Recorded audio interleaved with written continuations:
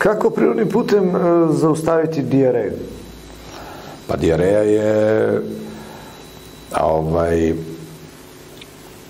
uzrok dijareje je trovanje organizma. Ja sam u jednoj od prethodnih emisija govorio o tome kako dijareja nastaje.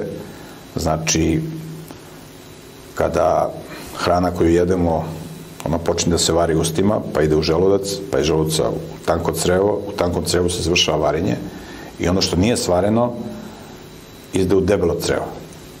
I debelo crevo, to što nije svareno i uđe u debelo crevo, a debelo crevo upija tečnost iz te nesvarene hrane i ovo izbacuje napolje kao izmet.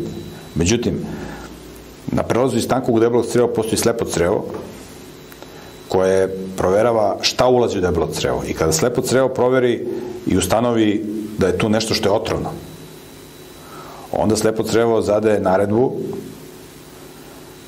izdaje, zap, izdaje komandu da debelo crevo ne upija tečnost, nego da odmah se izbacuje napolje. I zato je diareja ili proliv onako vodnjikava i tečno.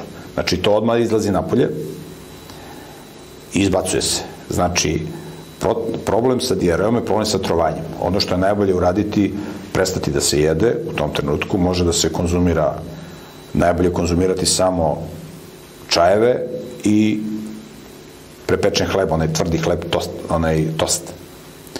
Znači, da se samo on jede, ništa više i taj prepečen hleb i da se piju čajevi, može da se pije voda, da se, znači, da se ništa ne jede dok se to dobro ne očisti.